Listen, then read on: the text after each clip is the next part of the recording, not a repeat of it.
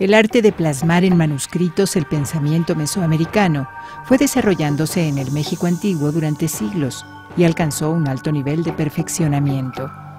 Elaborados en papel amate, fibra de alguna higuera o pieles de venado, la colección de códices mesoamericanos más grande del mundo se conserva en la Biblioteca Nacional de Antropología e Historia en México y son una herencia de imágenes para conocer mejor nuestro pasado precolombino.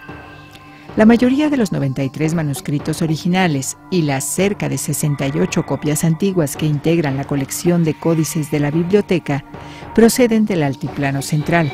Algunos provienen de Oaxaca y otros son mayas.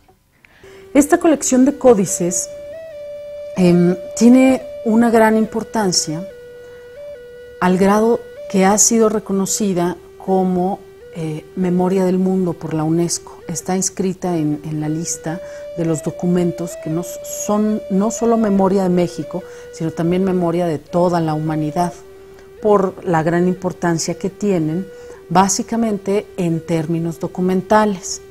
Los manuscritos existentes son de carácter histórico o genealógico, y a través de ellos podemos también conocer acerca del pago de tributos, de los dioses a quienes rendían culto, de cuentas calendáricas o fiestas y en general de rituales que llevaban a cabo los habitantes precolombinos. Estos documentos fueron realizados en segmentos de piel de venado o papel amate, pegados para formar una unidad o tira, y fueron cubiertos con una capa delgada de cal donde se pintaba.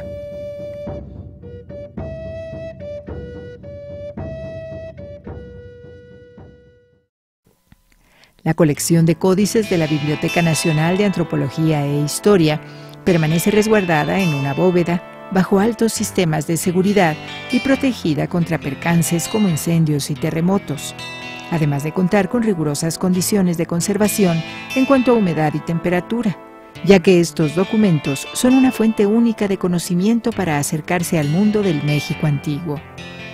En 1997, cuando la colección de códices fue declarada Memoria del Mundo, se realizó la digitalización de este acervo y actualmente es posible consultarlo.